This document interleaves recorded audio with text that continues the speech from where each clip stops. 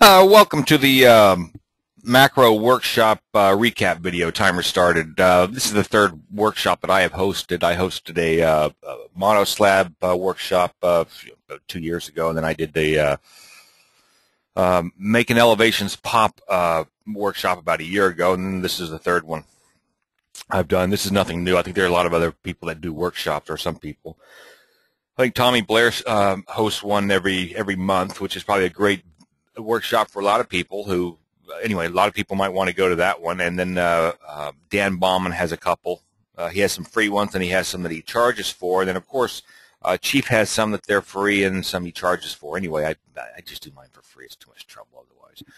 Anyway, um, and after these workshops, I always try to think of. I want to do a recap to kind of uh, uh, ingrain in my little head what what I learned from it. And I after I do all these workshops, I uh, there's always uh, I always wonder, is that all I learned in it?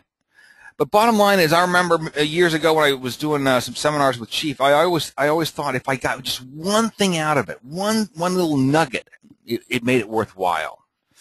And I think uh, I think this was a pretty good workshop actually. Uh, and so, um, what did I learn, or what came out of this as far as I was concerned?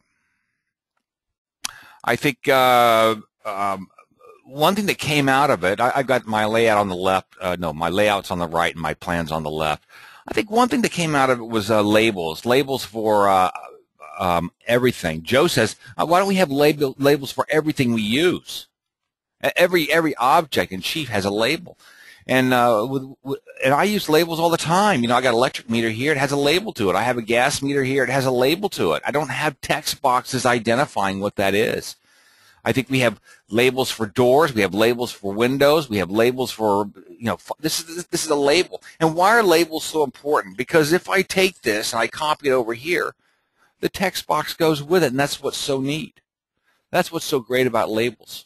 And and uh, you know, I, I, I use labels for my cabinets. This four drawer cabinet, here's a spice cabinet, 30 foot, and, and it's just a, a label.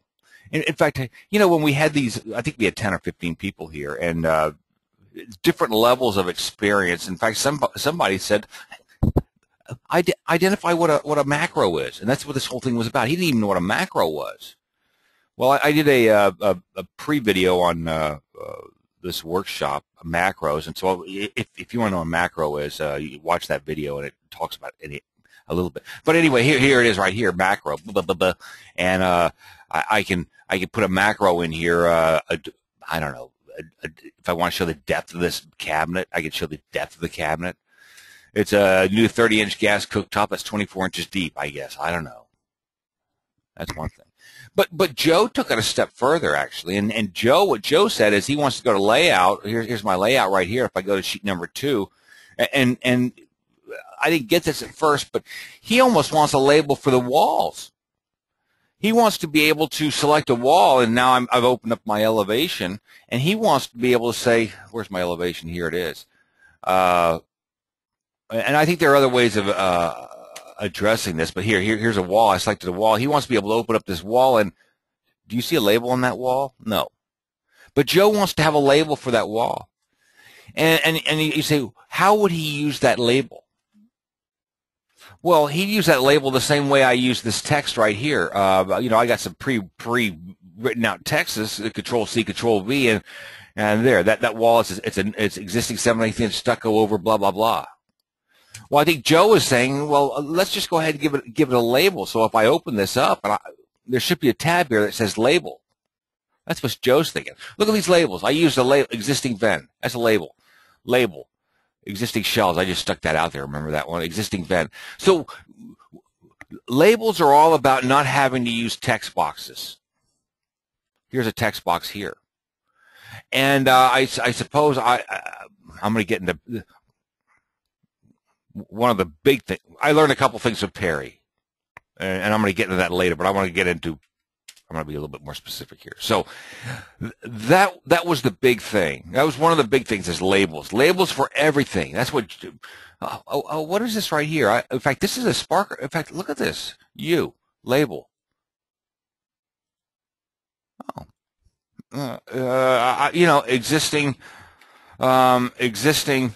Um, spark arrestor. Oh, I, I don't know why I don't I don't use that label for that thing. There. What, what am I doing? What am I doing this? Why am I calling out? Why do I have this stupid text box right here? Oh, Control Z. And this is one of the things that came out with X5 or X4. One of the things is is uh, uh, Chief gave us the ability to give something a label. Where is it? Come on, come on, come on. There it is. And so I, I really want to turn this label on. Uh, turn that label on. This is kind of cool. Oh, fix your labels. It's on. So where is it? Where's that label? Come on, Scott. Come on, come on. Figure it out, you big ninny. Oh, Control Z.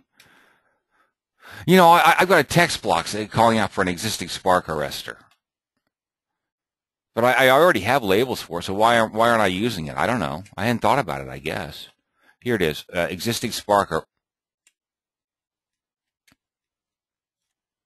Why am I stopping? Why is it stopping right there? Check that out. Why can't I move that label up and down? Oh, there it is. I, I moved it up and down. Okay. Oh, th that's so cool. I just used an existing sp uh, uh, Spark. Where's my label? Where's my fucking? Where's my label?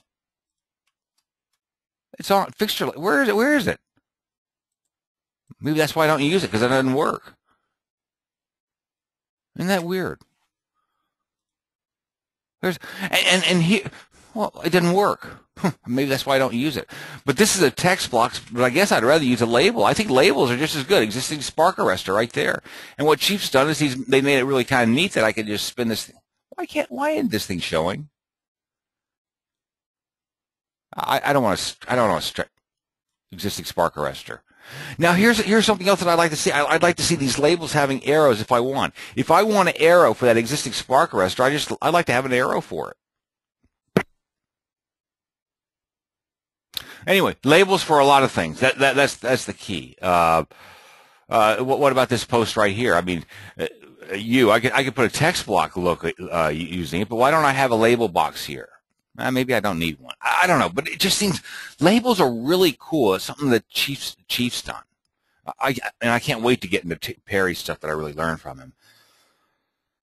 So I, right now, what, what I'm doing right now is I'm talking about some of the things that we uh, learned learned and uh, or discussed.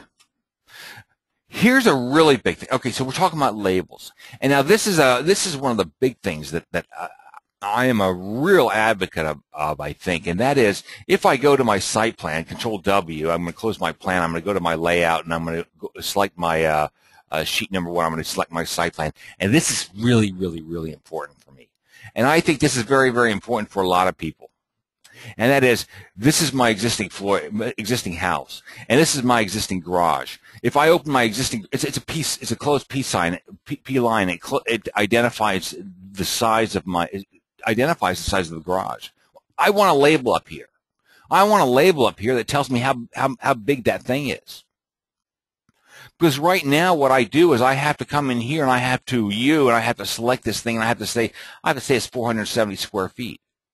Well, I just soon have a label that if I decided to change the size of this garage, whether whether it's new or existing or whatever, I, I just I'd like I'd like I'd like that number 470 square feet to be updated. Now, about a, two years ago, I was working on a very complicated project that I needed floor area ratio and coverage figured out, and new new floors, existing floors, and blah blah blah. blah and I had I had all those numbers automatically being uh, converted into this uh, area analysis box right here. And the problem with that is I was using a reference arrow to identify a certain thing. It was a mess. It didn't work for me. Now, Jerry, if, you, if you've been following this, Jerry came up with a, a system to use roof planes or ceiling planes, which do have labels, which you can then take that information and the area of that thing and, and put it into a bunch of boxes. What Chief is so great about, or, or what, what this all is, is all about, is all about is things being updated automatically and I think that that is really, and you listen to Doug Park, and he's talking about that's what he that's what his goal is, man. Doug's trying to make all this stuff automatic, and and this is how I would use this. This is how I would use this thing. Here's the layout right here. Now, if I had, sorry, if I was uh, able to identify the square footage of this existing house and the existing area, oh, time up, Jesus Christ.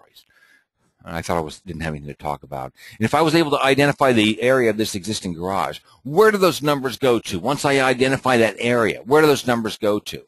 Well, they would go right here, 1955 square foot. That's automatic. I type 1955 in. But if I change this thing, it's still going to be 1955. If I change the shape of this, it's still 1955. But I want it to be automatic. So if I change the shape of it, it's now 1960 or so. If I change the size of the garage, it's now four, uh, uh, instead of 470, it's 490. Automatically update, updated. Where else, where else does that number go? And that's what's so powerful about macros. I have this area analysis. It's a, uh, CAD block.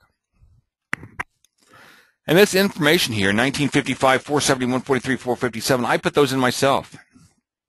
So if I change the size of something, I have to then come back into this area, area analysis and I, and, I, and I have to change those numbers. Not only do, that, do I have to change those numbers, but now I have to come up here to the floor area ratio and this number, I have to change that number because that's changed. And then I have to recalculate this uh, percentage of the floor area ratio. So back to the whole point of this, and this is, and, and, and the point is being able to have labels for everything. I mean, I get labels for cabinets, I get labels for doors, I get labels for windows, but I'd like to have labels for um, uh, closed P lines. Maybe I want maybe I want labels for moldings. I don't know. I don't know how to use it yet, but I probably could. Hey, someone asked about what is what is a macro. This is a macro. If I have to put my name and my address in there, I don't have to type it in anywhere. If I if I move, this my address changes everywhere, everywhere in the plan. That's what what what this is all about. If I don't ever have to put put in the uh, client's name anymore, their address, it's just automatically I change it in one place and it changes everywhere. Uh, you know what, what's neat about this is this is a uh, CAD uh, CAD detail. And I like to put this area analysis on my site plan. I also like to put it on my floor plan, and I also like to put it on my, my demo plan, my floor plan. Then I like to, uh, then I, I, put it on my cabinet plan, whatever for whatever reason, and you know I get carried away. I, get I go o- o- overboard actually. Uh, so, but here's some, you know, here's my section. Stop. I'll, I'll get back into that in a little bit. So, um, what, what, are we talking about? We're talking about labels for just about everything. Why don't we have labels for everything? I think it'd be very, very valuable.